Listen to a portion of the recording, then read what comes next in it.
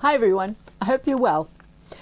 So our next video is a fun subject and quite a popular one and it is to go on this decanter which is a wine decanter. This is a commission.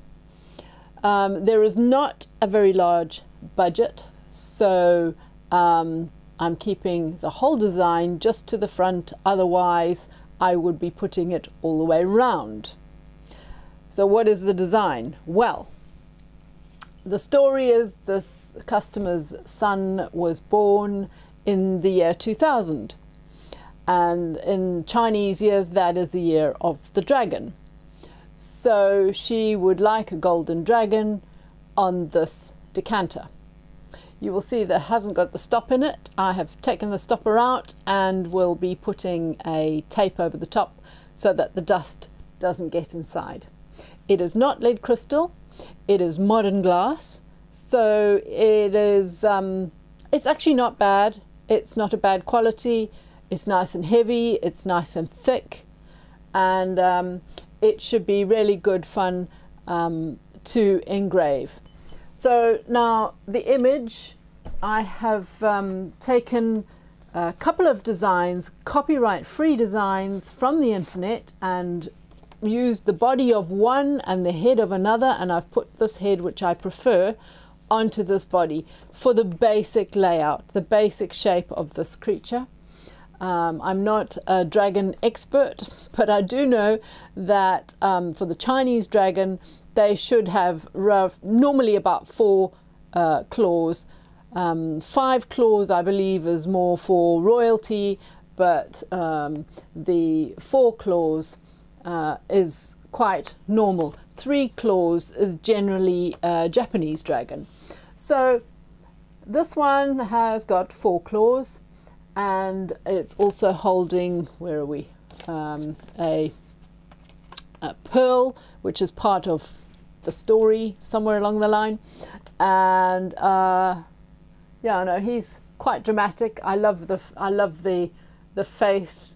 Uh, you can have such fun with this, and uh, I wish I was doing it all over the the decanter, but as I say, um, the budget will not allow that. These uh, details here, I'm not necessarily going to keep exactly to obviously what's on here free to, to do whatever blows your hair back, really.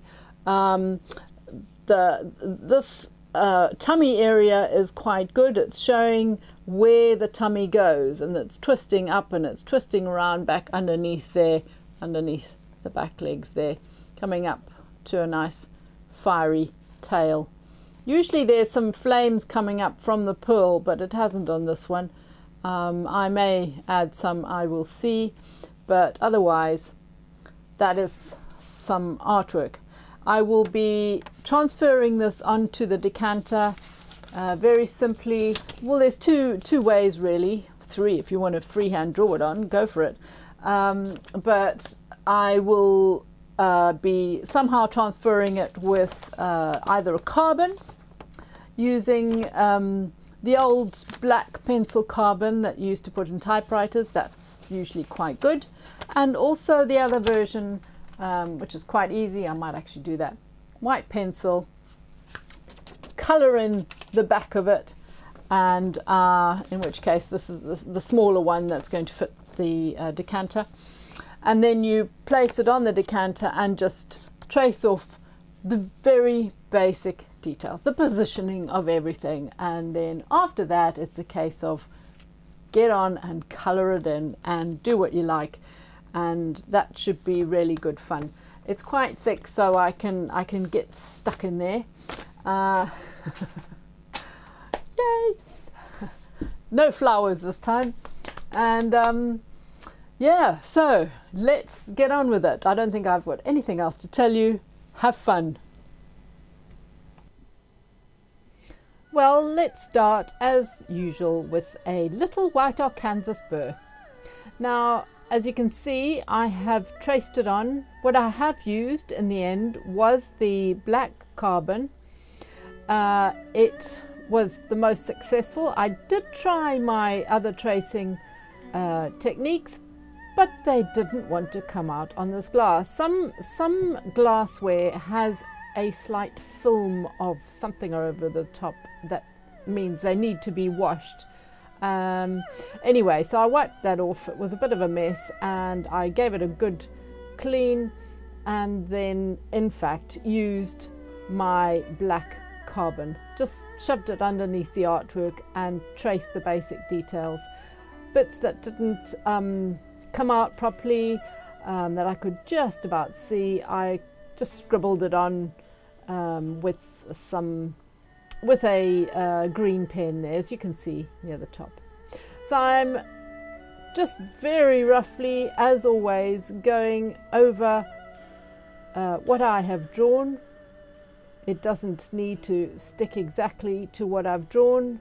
Quite often I will change little bits and pieces as I go along.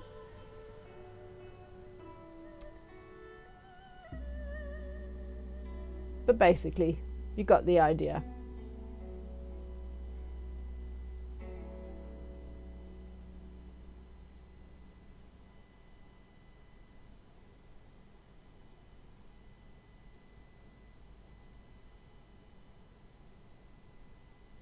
This little burr does not need to go very fast. It's probably only going at about 20,000 RPM and I'm not pressing very hard either. I have sped up this part of the film to 130% of normal speed.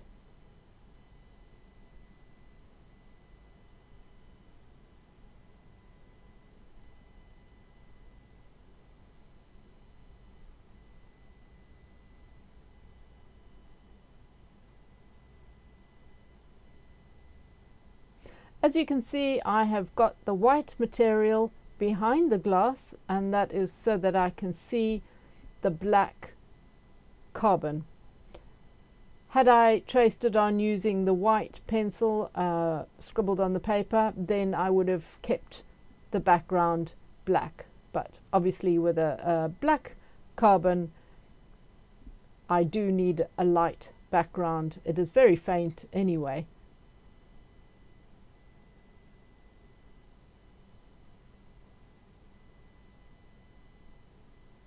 I also started at the bottom right hand corner of the image and there's a very good reason for that and that is because as my hand moves across the artwork whatever it touches it will smudge uh, and come off and so therefore starting at the bottom you're not going to smudge it. You will notice I missed a bit. I missed my little bit of green so which I only noticed when I pulled the white away. So um, I don't know why I did that. Anyway, quickly scribbling over the green area. There we are. Got the water dripping.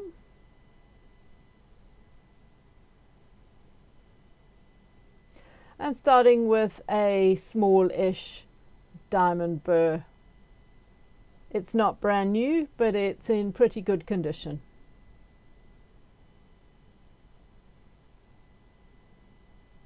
Starting around the eye and head area, uh, which I normally like to start. In fact, it's quite interesting because this one, I didn't complete the eyes first. And as you know, normally I would complete the eyes so that they look at me all the time while I'm finishing the rest of the engraving. But it was really odd because I got to near the end and realized, of course, that I still had to do the eye that was showing, the one eye. And I thought, how very odd. Maybe somewhere in the back of my mind I didn't want a dragon staring at me all the, all the way through. Oh dear. But anyway, it doesn't matter when you do the eye, but uh, in this case, I only uh, did the actual eyeball at the end. So I'm going quite deeply. I know it's hard to tell, but lots of water and pressing relatively hard. I always say as though you're using an, a very bad, cheap ballpoint pen. This glass, it turns out, is actually really quite soft. I often find when glass is thick, it is soft. Don't ask me why. There must be someone out there who can tell me. Uh, but this is really lovely to work into.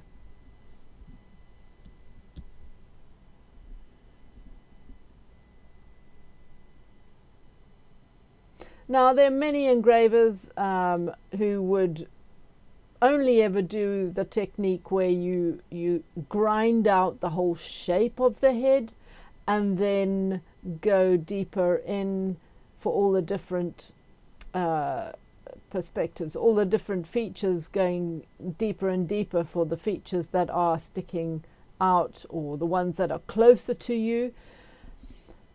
But I, it's a funny thing. I very rarely do that. I like to pick out the features and go really deeply, and and then just work it around that. So you're still getting a sort of a texture and a depth that is being picked up by the light, but we haven't started by gouging out the whole background first.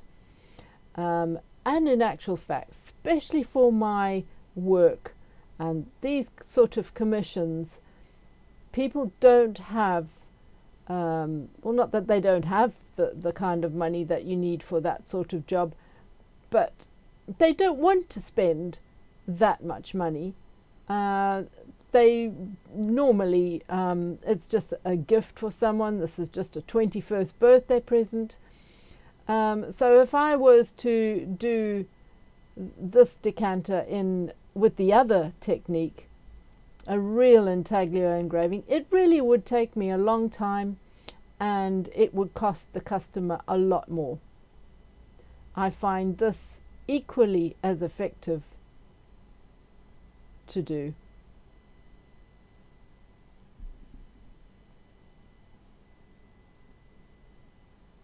Turning the glass around, of course, so that especially for this these these sort of antlers or whatever you want to call them that are on top of his head. I'm starting at the point and very carefully pulling towards me.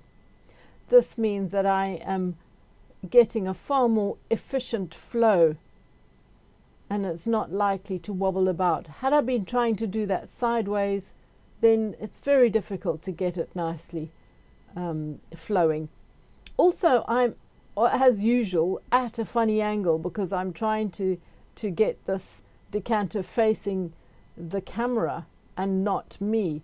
So I'm always slightly twisted and not quite looking down directly on the top of it.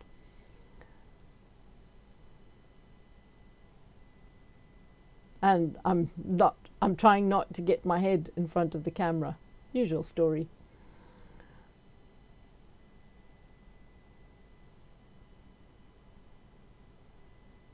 Yeah, I'm very pleased with the softness of this glass. Now you can use a slightly thicker burr for the thicker parts of these. I'm just going to call them antlers because I don't know what you call them. Um, and I'm, I've just decided to use this thinner burr, but I don't want to have streaks. I want it to be nice and smooth. So I am actually working it so that it is uh, deeper in the middle, but it doesn't have streaks. You can't see that I have used a smaller burr. Otherwise, you could use, as I say, the bigger burr, starting in the bigger area and then working outwards and then finishing the point with a smaller burr.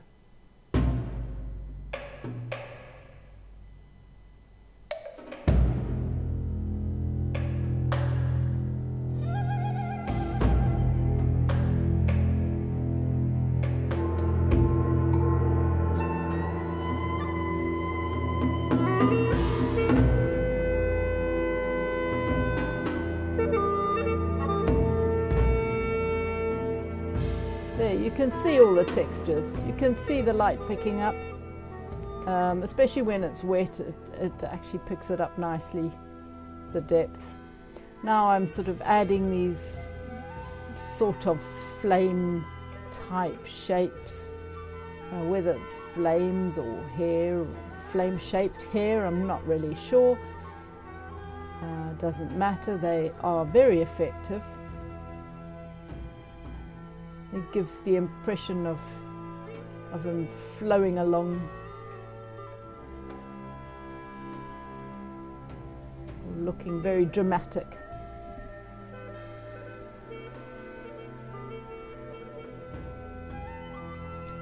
I'm using a lot of water. Um, the tray gets filled up with water, obviously. Um, and the other morning I came in and, and, a poor little spider had uh, fallen in and not was not able to get out and had drowned. And I, I felt really sad about that. I don't like to think that a little creature has has struggled um, and died. It's, it's horrible. But anyway, I thought that that is something that we could do as a subject actually. Um, a really realistic spider. No, I'm not normally a fan. Uh, they just freak me out a little bit if they give me a fright. but um, I do appreciate that they are wonderful creatures. Right, I've got quite a big burr here and I'm doing the outline quite thick and then I will be blending in from there so that you can't see that it's a line.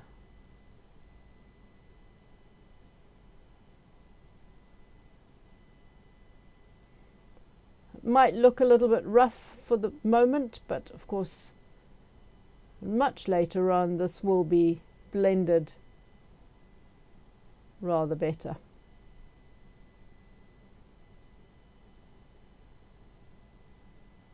Rather better? Is that good grammar? Probably not. Anyway, here we are starting on these these funny things on the belly.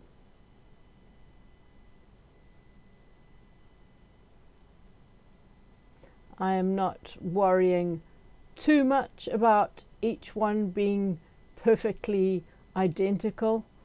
Uh, I am doing this at quite a speed really.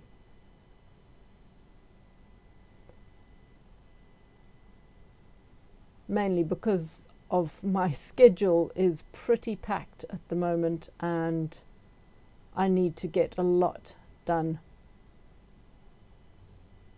So for the claws, I'm initially giving it a lot of sort of lumpy texture. And here you can see I am creating the pearl slowly going round, starting in the middle, working outwards, and then working back into the middle, and making sure there that I just stay in the middle just a little while and then work outwards again. And then work inwards again. And stop in the middle for a little bit so that you, you don't end up with a donut. You're trying to make a nice smooth rounded sphere.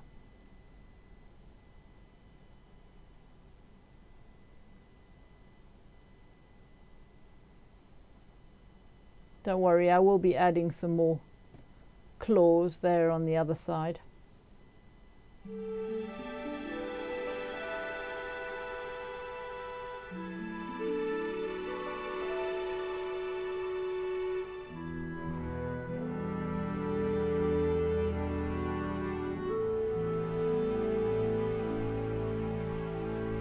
One of the legs.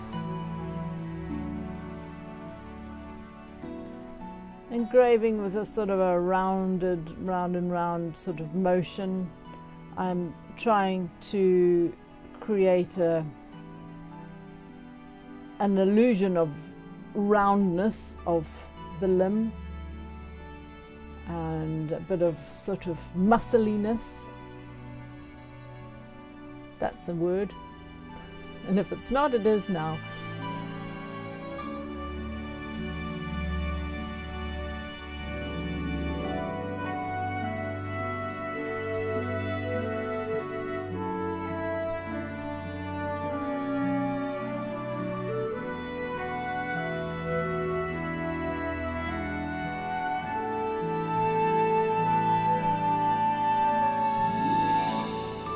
These really do work to show the twisting of the body.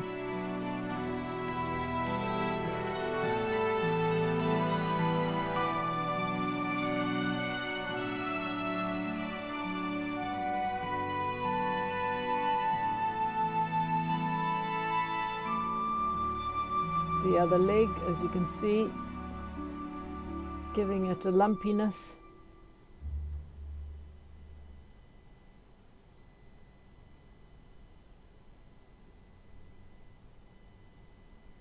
We will neaten up the claws later, but initially it's just it, looks a bit like Michelin Man's claws, but I'll get them sorted out later.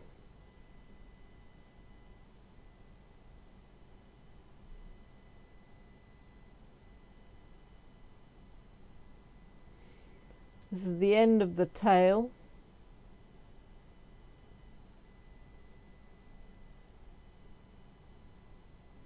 Again keeping it um, deeper in the middle and it really does give it that rounded effect but still to be neatened of course and blended so that you don't see any in fact you the only texture that I'm wanting you to see are uh, will be the movement of the burr in that sort of rounded fashion. You will see it later on.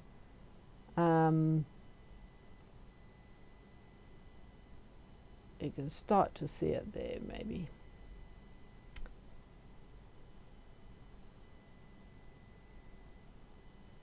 You can see how I am creating this texture ever so slightly um, giving the impression that it's rounded, basically. It is rounded anyway.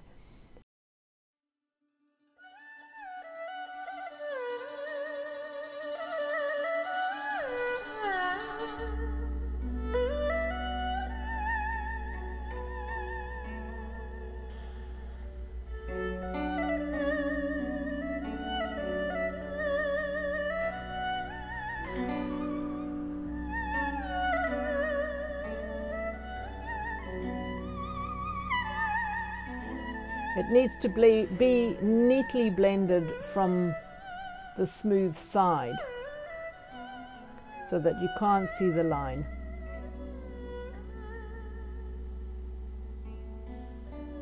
And whatever I don't manage to blend now, I will blend at a later stage.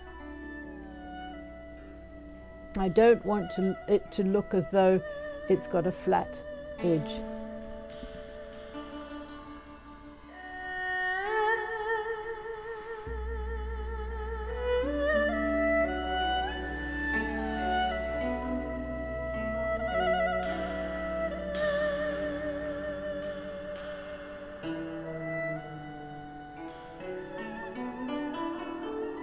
This area, of course, can be done with a much larger burr um, and sort of pulled away from the edge, and that, that, that can be a really nice effect. Um, I just couldn't be bothered to keep changing. so I stuck with this burr.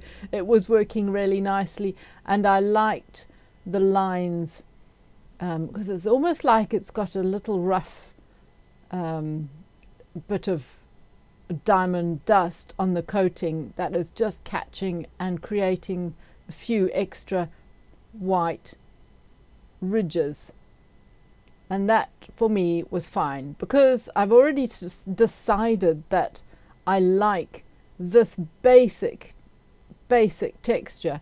And I'm not going to do scales um, on this dragon.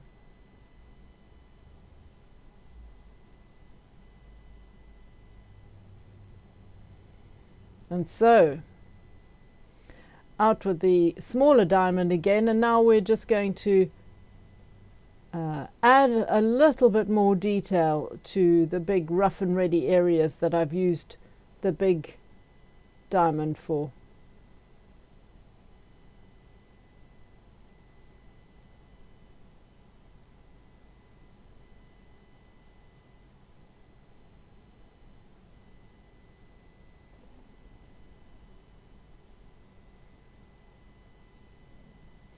Adding in uh, the extra little claws that are peeping around the edges. And I'm going to add the flame effect to the ends to the end of this tail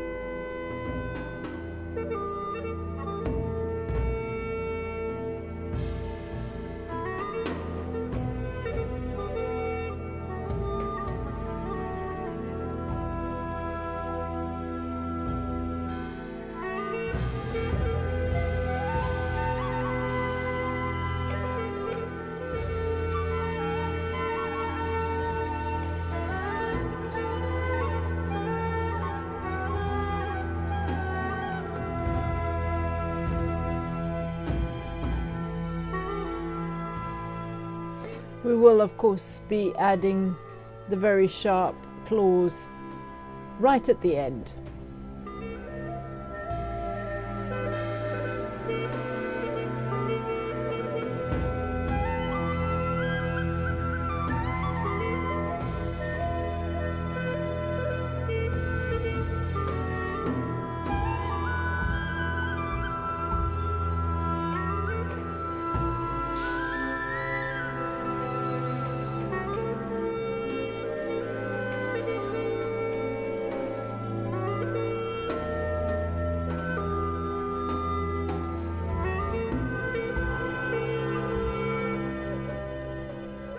Has a funny little flame, a little flame coming from the back, uh, the um, the back end of his elbow or knee or whatever that is. Probably a knee. Um, I don't know whether it's supposed to be a flame or uh, hair. Uh, same thing. It's a dragon.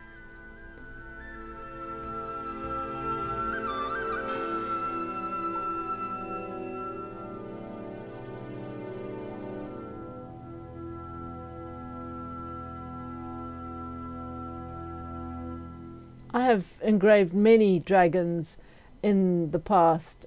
Um, I love the Chinese ones because they they just seem to have so much character. You can see them um, in, in in my mind. I can see them in in a parade, if you like, with all the color and the noise and and I think in general they are good dragons. Whereas if you are engraving a European dragon, they, I think, are rather nasty characters. So you can see this dragon is looking pretty neat. I am liking it and I'm having a lot of fun. So, till the next video. Thanks for watching. Bye for now.